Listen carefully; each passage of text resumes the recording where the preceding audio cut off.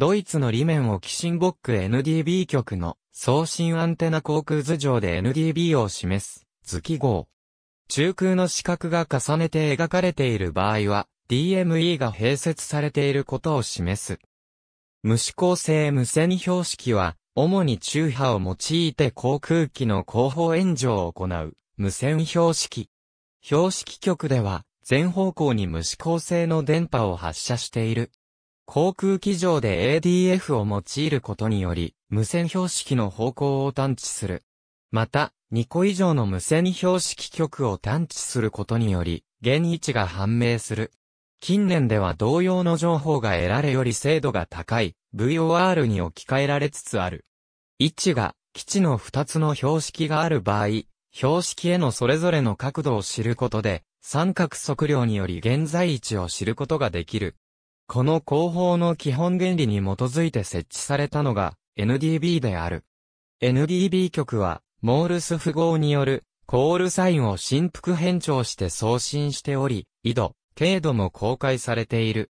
なお VOR 局2つの場合は、NDB 局2つを用いるのと同様の即位原理であるが、VOR と多く併用される DME を用いれば一つの、ツボネとの角度、距離によって即位できる。NDB 局の使用する周波数は国際電気通信連合が無線航行用として分配するものの中にあり、ITU が定める地域により異なるが 160kHz から 535kHz、1605kHz から 1800kHz の中から分配される。これらの周波数の間には、中波放送の周波数がある。航空機側では方位を知ることができる受信設備が必要で、現在は ADF を一つないし二つ装備していれば、NDB を利用した広報が可能である。何らかの理由で NDB が利用できない、非常の場合は、中波放送局を受信できるならば、同じ原理で方位を知ることも可能である。NDB が VOR に比べ精度が低い理由は、主に口述の中波の直進性が低い、航空機側の方向探知の誤差が大きいということによる。NDB 局の多くは 50W 以上の出力を持ち、中には 2kW 以上の壺根もある。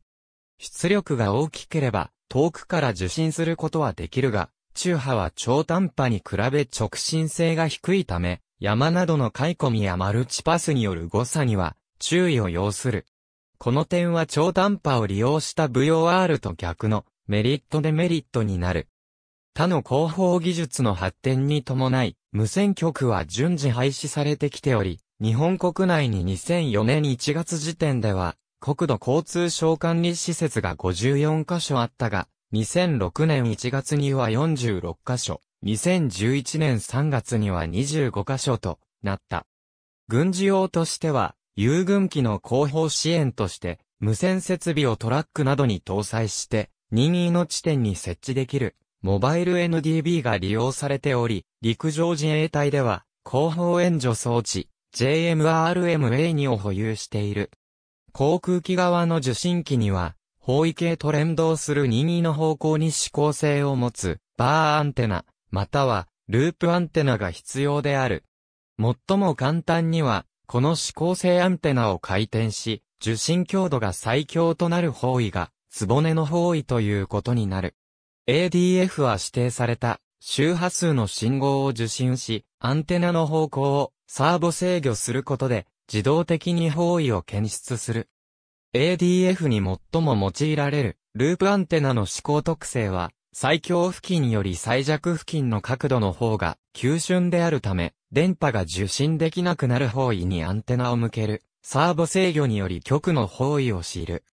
これらの方式では、180度異なる方位は、同一として表示されることになるが、2極のいずれかまたは、両方が180度逆の方向にあると表示されたとしても、即位する場合に支障はない。ADF では検出された壺根の方位を、計基板の方向指示器に表示する。ADF を2機装備していれば、即位に必要な NDB 局2つのそれぞれの方角をリアルタイムで追うこともできる。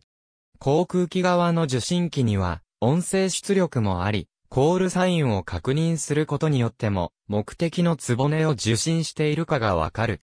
受信機の周波数には、中波放送を含んでいるので、上記に非常時に利用可能と記した中波放送局の場合は、放送内容を確認することで目的局を確認できる。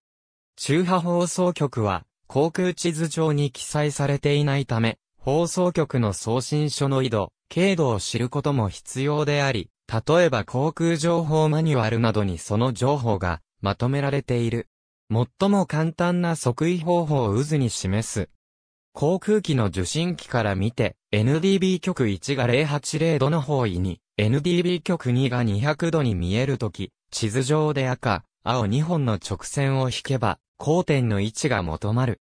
この他の利用方法としては、NDB 極を航空機の進行方向から相対的に見て、常に同じ方角になるように飛ぶトラ線上に接近していくことを利用した、ホーミング後方、滑走路両端の2つの NDB 極への方位が重なるように侵入する着陸方式などがある。日本では無線標識局という種別で免許され、周波数は航空無線航行業務の無指向性、無線標識用として 160kHz から 415kHz、1606.5kHz から 1800kHz の中から割り当てるものとしている。具体的な周波数や位置は、総務省令無線局運用規則第178条、及び第182条に基づき告示される。ありがとうございます。